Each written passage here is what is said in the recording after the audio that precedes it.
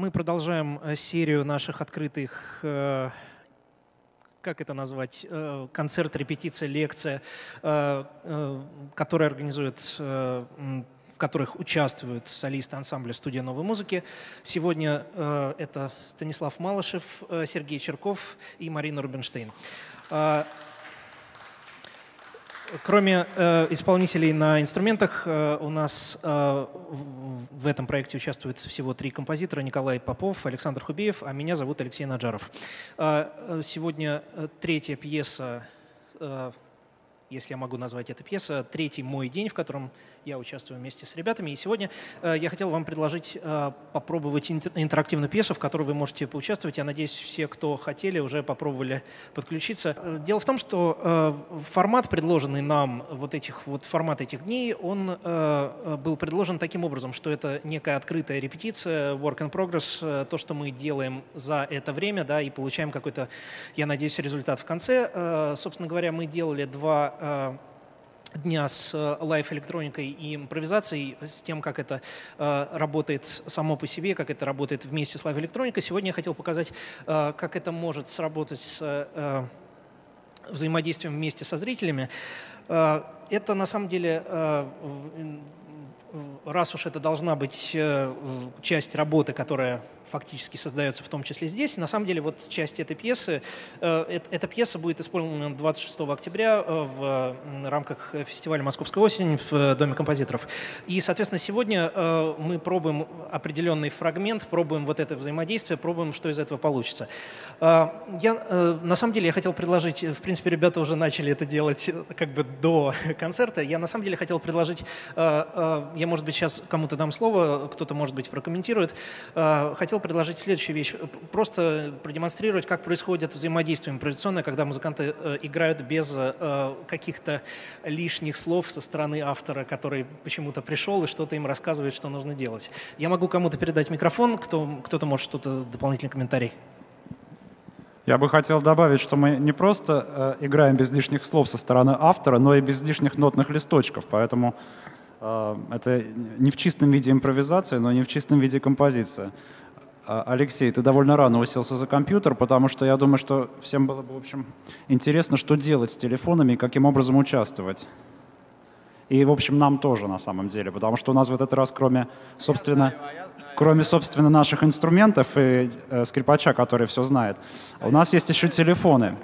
И э, мы не сильно дикие люди, но тем не менее в данном, в данном контексте как-то немножко, немножко необычно их использовать в таком варианте. Ими можно играть на инструменте, вот будет звук. Но я не думаю, что фирма не буду делать рекламу, обрадуется.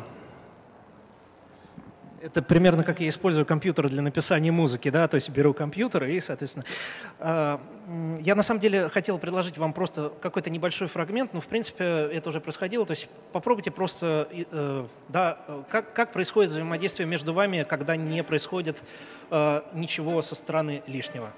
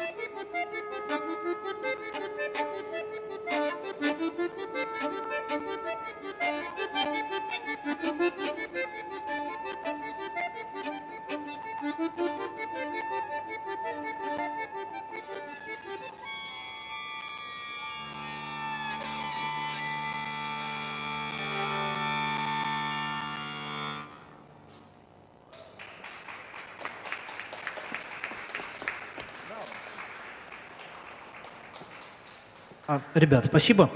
А, давайте, собственно, попробуем а, теперь сделать что-то вместе с телефонами. Сейчас у всех на экранах э, должны появиться различные кнопки. Кто, я, не, я особо не слежу, кто с кнопками, да. Сейчас я включу звук. У меня 120, 120 только Но судя по тому, что что-то происходит, уже что-то работает. Да. Угу. А давайте попробуем э, понажимать только на третью кнопку, которая обозначена синтезированный тон.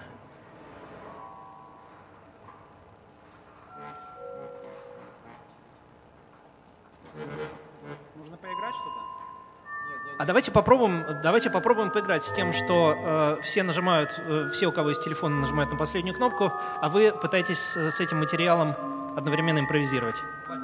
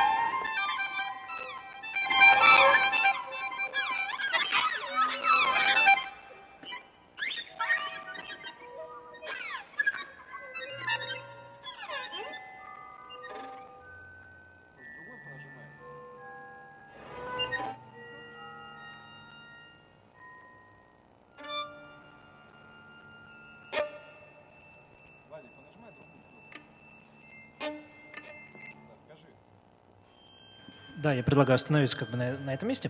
А, в принципе, сейчас, э, ну, так как, э, собственно, я сказал, что да, это work in progress, сейчас не все срабатывало технически, но, в принципе, э, большая часть, в принципе, работала. Если хотите, могу вам дать слово по поводу того, как для вас это было. Да, хорошо. Тогда предлагаю, собственно говоря, другие кнопки на самом деле уже срабатывали, если вы могли заметить, потому что Кто-то нажимал не только последнюю кнопку, у нас звучали другие звуки. Попробуйте э, э, сделать сейчас следующим образом. Соответственно, когда я сейчас верну... Угу. Более того, он сейчас записал, я боюсь, то, что я наговорил, поэтому сейчас это тоже будет звучать, если нажать эти кнопки. Нажатие верхних двух кнопок запускает то, что вы сыграли до этого, причем запускает достаточно громко. Попробуйте на это, на то, на то что произойдет в колонках, среагировать каким-то образом, резко сменить материал на что-то другое. То есть вот придумайте ваше взаимодействие с э, внезапно появляющимся материалом в электронной части. Материал да. должен быть контрастен к тому, что мы слышим, или мы его каким-то образом имитируем? Я думаю, что это произвольно на ваш выбор. Ну, скорее всего, скорее всего контрастный, да. Хорошо. Э, давайте попробуем. Можно попробовать и то, и другое. Можно попробовать сначала одно, потом другое. Так что э, сейчас я включу звук обратно, потому что я выключал, и мы можем начать.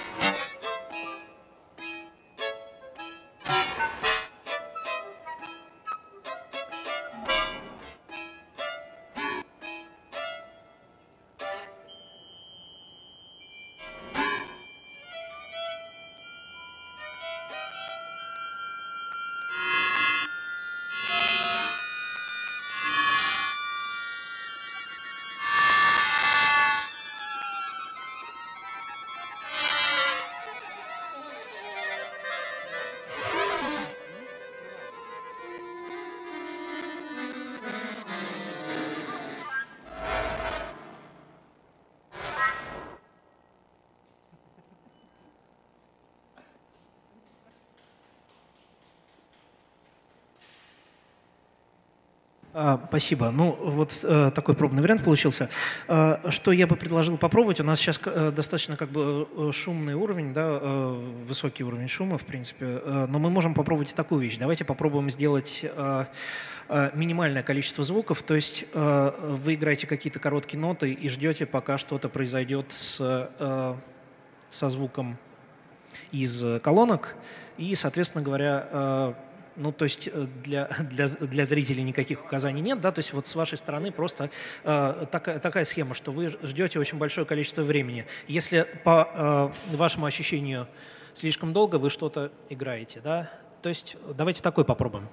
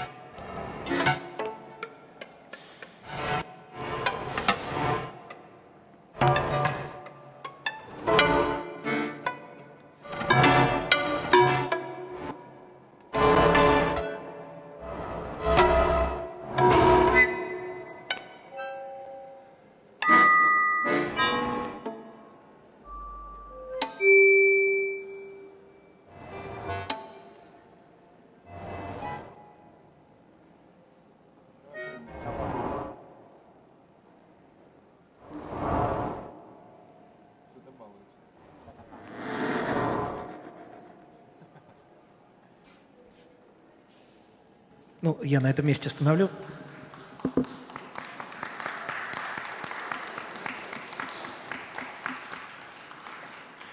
А, могу вам опять предложить э, взять микрофон и сказать э, впечатление. Или могу дать э, микрофон залу, если у кого-то возникли мысли, впечатления, кто, кто хочет. Может быть, если кому-то еще не все ясно. Композитор Николай Хруст.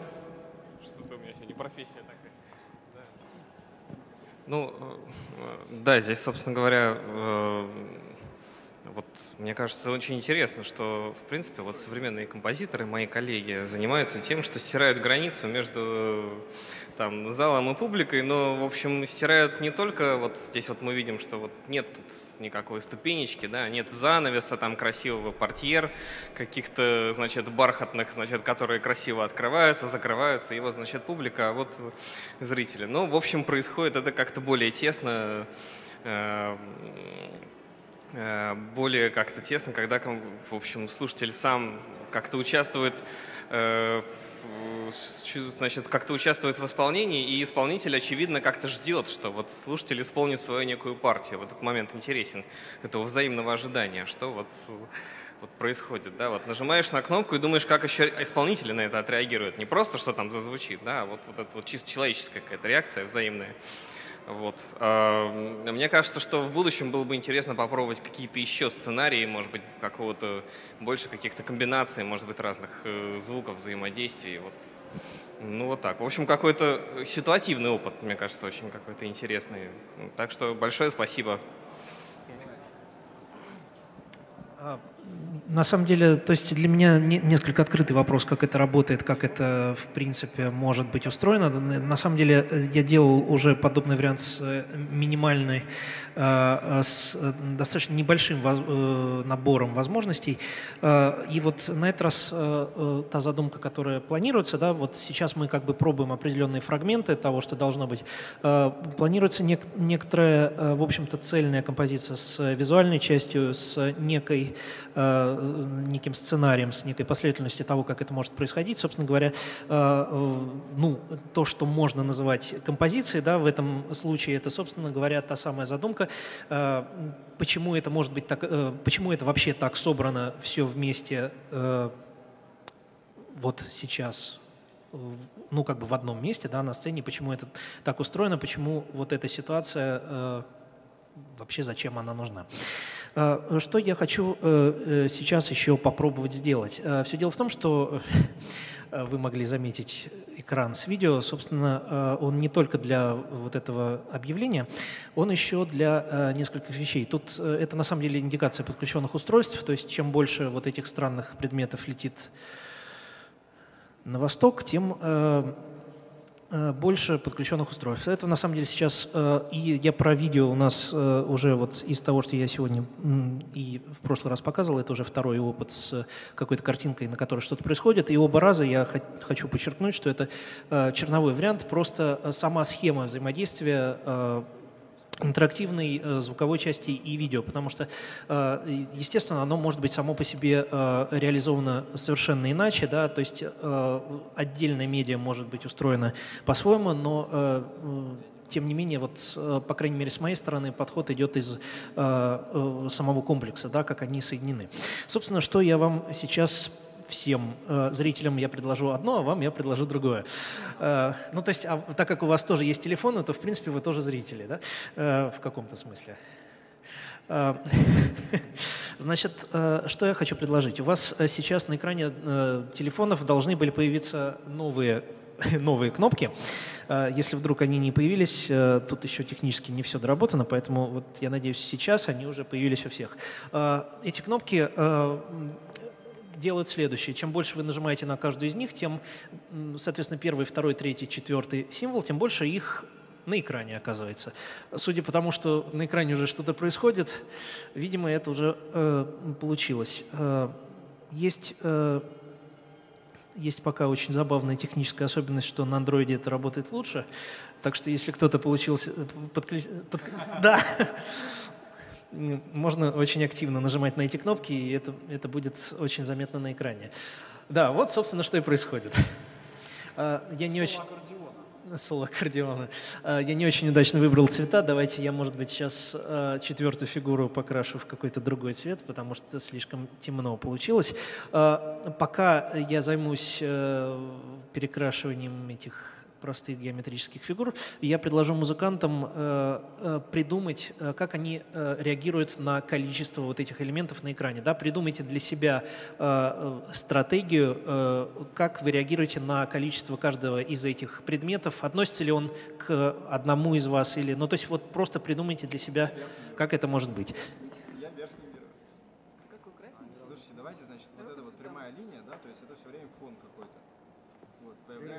Звуки, прерывистая линия белая, это прямо... э, Поделись со всеми, с э, общественностью. значит, я предлага- предлагаю следующее. Предлагаю. А, Предлагаю следующее. Вот, э, вот, те, вот, вот те белые штучки, движущиеся на восток, наверное, да, э, э, это у нас будет гармоническое такая, так, гармоническое заполнение, то есть э, не, не, не, гармоническое, то есть у нас будет, будет, будет, будет какой-то фон, да? Ну, я понимаю, что все, конечно, радуются, когда они достигают своей цели. Вот. А те ноты, которые э, у нас будут возникать, то есть верхняя строчка моя, как я уже сказал, там средняя Марины, а нижняя твоя. Есть мнение, почему это? Вот. И, э, значит, они будут возникать э, в каких-то последовательностях. Цвета, да, да, да, да, да. Нет, вот а- они возникают, вот там наверху он красный возникает, вот, вот, э, еще какой-то возникает, да? Оплодотворенный нет. Э, Я вынужден Да. участвовать. А, На самом деле я, э, то есть опять же здесь, ну раз у нас э, такой формат, да, work in progress, то, собственно говоря, э, я могу об этом сказать и подчеркнуть это, да, то есть в данном случае в некотором смысле моя ошибка, что у нас есть на экране как бы два элемента и, собственно говоря, они могут предложить, то есть опять же у меня есть представление о том, как это должно произойти, и тем не менее та конструкция, которую я же и делал, она при этом может предположить что-то другое, и это не учтено. Собственно говоря, вернусь к конкретике. Дело все в том, что э, то, что я хотел предложить, э, связано с тем, что э, вы реагируете только на вот эти четыре фигуры, да, потому что на самом деле вот эти вот все, что летит направо, это исключительно индикация. То есть в данном случае я ее просто оставил, она... Да, мне на самом деле очень понравилась эта идея, кстати. Так что э, можем попробовать обе. Можете попробовать, э, э, смотрите, просто... Э, Да, но вас трое. э, Придумайте. У меня есть предложение, если у нас есть смельчаки в зале, значит, э, мы, мы разбираем по цветам. Вот смотрите, красный, э, например, цвет – это флейта, желтый цвет – это баян, аккордеон, вот, вот, вот, квадратик, квадратик. Белый – это скрипка, а фиолетовый кружочек – это зрительный зал, который у нас будет, например, э, нет, будет э, кричать вот эту вот э, букву, точнее петь, не кричать, а петь вот эту вот букву, которая там есть. О, да? О, там или О. Вот когда она будет появляться, э, вы э, можете, э, значит, э, пропеть э, эту партию, да? Как вам такая идея? Я, нет, это будем делать мы. Это будем делать мы. У нас ведь есть телефоны. И Алексей, да, он будет нам помогать. Ну что, попробуем? Все вместе, да? 34.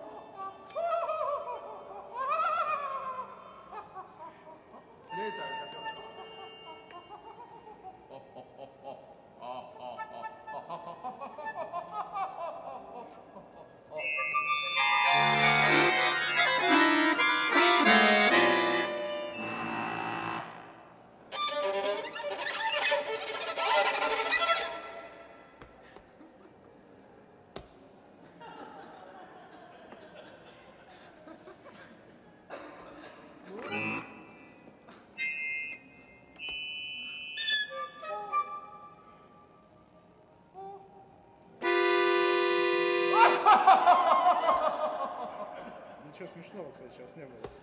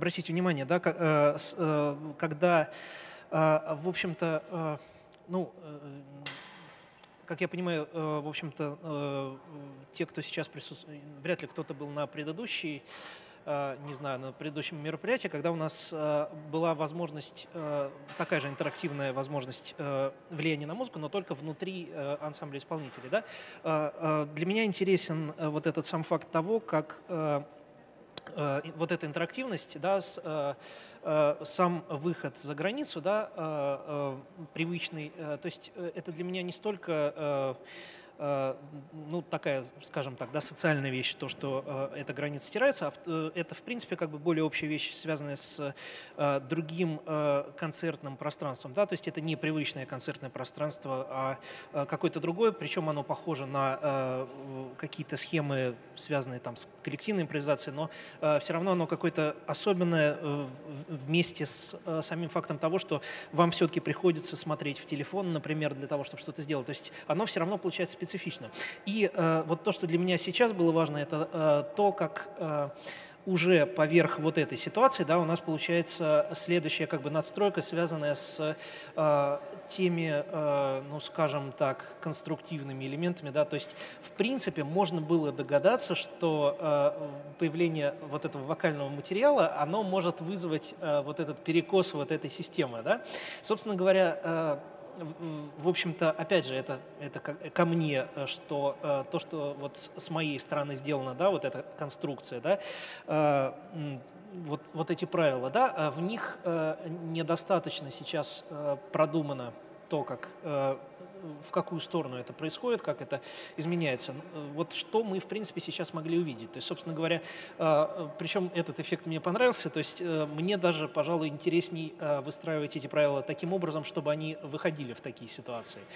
Собственно говоря, у нас похожая ситуация была с квартетом, когда у нас была игра по тоже графике с Э, генерируемое видео, только играли музыканты, и так получилось, вот эта э, конструкция так э, была устроена, что все вышло на какой-то постоянный громкий активный уровень, из которого нельзя было выйти по тем правилам, которые были заданы.